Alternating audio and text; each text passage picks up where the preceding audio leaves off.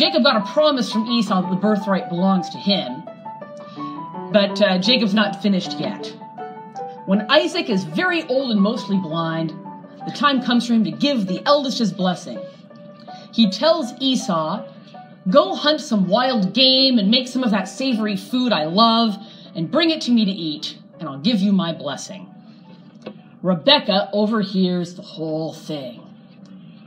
As soon as Esau goes off hunting, she calls Jacob over, Go to the flock and get me two young goats. I'll make some stew, you bring it to him, and he can bless you before he dies. Jacob says, Mom, I'm nothing like my brother. It'll never work. What if he touches my hand? What if he gets angry and gives me a curse instead of a blessing? Rebecca says, Upon me be your curse, do what I say. So Jacob brings back the two goat kids. Rebecca makes a stew, dresses Jacob in Esau's finest clothing, and wraps the goat skins from the recently killed goats around Jacob's hands and neck. Esau must have been one hairy guy. Jacob brings the stew to Isaac, and he says, I am Esau, your firstborn. I have done as you have told me. Isaac is suspicious. How did you find game so quickly? Because the Lord God granted me success. Let me feel your skin. And Isaac does. He's confused. It sounds like Jacob, but the skin feels like Esau and the clothes smell like Esau. Are you really Esau? I am. And Isaac gives Jacob the blessing from God. You will have great prosperity. Nations will bow down to you. Your brother will bow down to you. Cursed be everyone who curses you, and blessed be everyone who blesses you. As soon as Jacob is out of there, Esau arrives too late. Isaac is sorrowful. He didn't mean to do it. Esau is outraged. Esau begs and demands a blessing from his father. Make it right. Make it right. The only blessing Isaac can give is a harsh one. You will live by the sword in a rugged place and serve your brother, but you shall break the yoke from your neck. Well, that does seem to describe Esau's life, but it especially refers to their future nations. In the time of King David, Israel ruled the Edomites. Jacob's descendants ruled Esau's descendants. But later on in the time of the kings, the Edomites successfully rebelled. By the time of Jesus, you've got King Herod, an Edomite, ruling over Israel. So King Herod is a descendant of Esau. Make that connection. And King Herod, of course, gets supplanted by Jesus, the descendant of Jacob, whose kingdom is not of this world. This carries all the way forward. Esau is furious. He makes it clear that the moment Isaac is dead, Jacob is a dead man. Rebecca tells Jacob, Go, get away from here. Stay with my brother Laban and lay low. I'll send word when it's safe to come home. Then Rebecca goes to Isaac and says, It's time Jacob got married. What if we send him north to my family to find a wife? We can't have him marrying any of those awful Hittite women. He can marry one of my brother Laban's daughters. Isaac agrees and sends Jacob away to find a wife. There's the curse. Rebecca never sees her beloved son again. She, she messed up. Isaac and Rebecca die and are buried in Abraham's tomb at Hebron. Was, was this the way God wanted to give Jacob the birthright? No. No, this is the way Jacob made it happen. God promised Rebecca back when her babies were in her womb that the younger would inherit the blessing. And yet Rebecca and Jacob felt the need to scheme for it, to move God's promise along, to make it happen on their terms.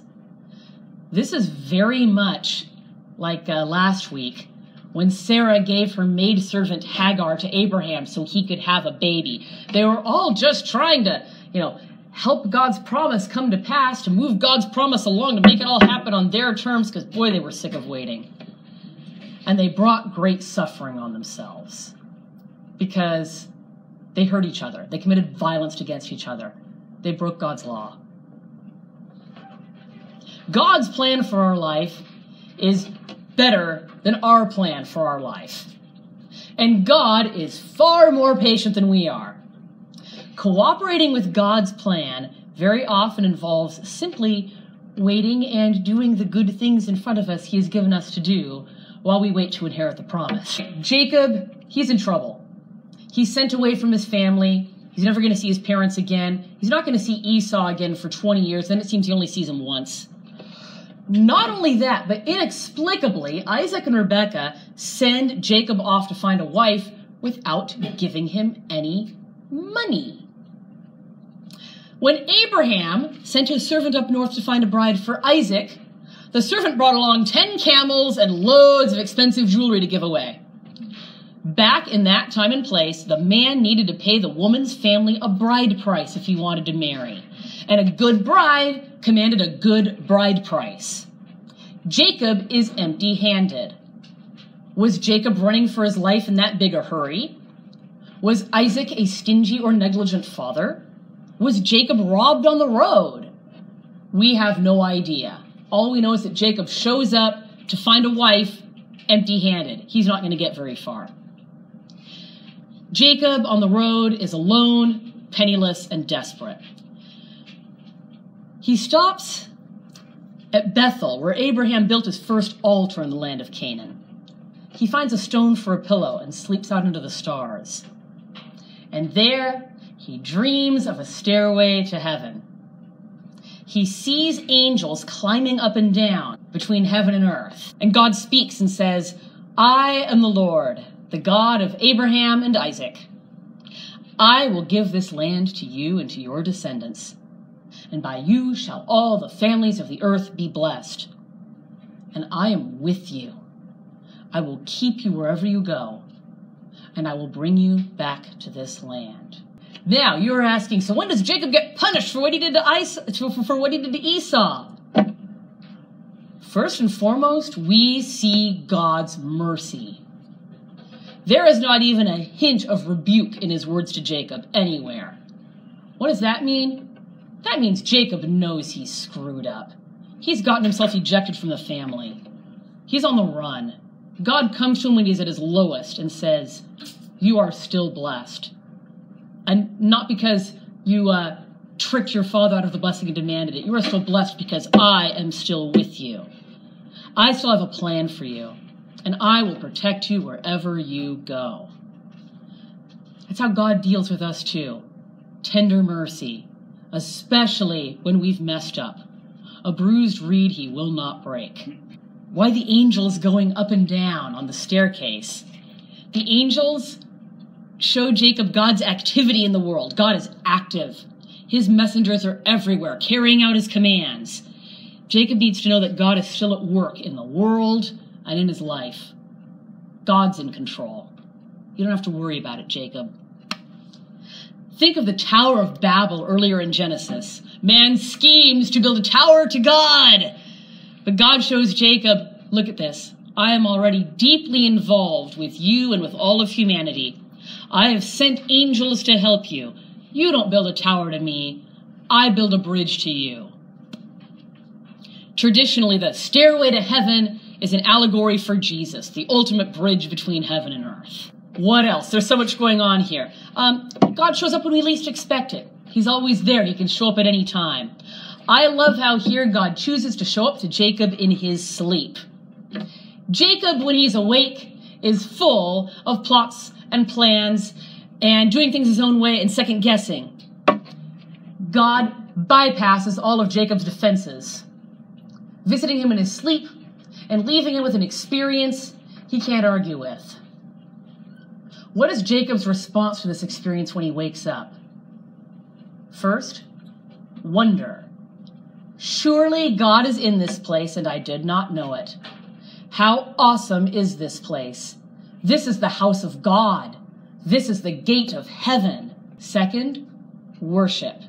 He takes the stone he used for a pillow, sets it up as a kind of pillar, and pours oil over it as an act of worship. And third, bargaining. God, if you really are with me, if you really do keep me safe and give me food and clothing and bring me home in peace, then you shall be my God. This place will be your house, and I will give you 10% of everything I own. When our defenses are down, when, uh, when our ego's been kicked out of the way, we experience God in wonder and worship. When our defenses start to go back up, we second guess everything. We doubt. We rationalize. We bargain. Jacob is spiritually awake. He has a relationship with God, but here it's an immature one. He's still burdened with doubt. If you really do everything you say, then you shall be my God. And he's also burdened with the notion that he has to earn God's love and pay him back. You do good things for me, and I promise I'll do good things for you. Jacob has yet to grasp that God is grace. He's not like these pagan gods that demand a quid pro quo. You know, you, you want rain, you got to do the rain sacrifice. God doesn't need us to perform for him. God doesn't need our help. God wants us to accept his mercy with open arms. God wants to give us complete trust and complete faith. God wants us to relax and be completely secure in his love, like a little child on his mother's lap. We can stop worrying about how we're not good enough and how we skipped our prayer time and how, oh man, I shouldn't have said that. And oh, I don't think I can get all the stuff I need to get done done today. And all the little ways we feel like we continually mess up. Jacob messes up. He messes up big time. God was with him anyway. When we mess up, just look up. God carries us like a parent carries their child. We reach our arms up, He lifts us up and gathers us to Himself.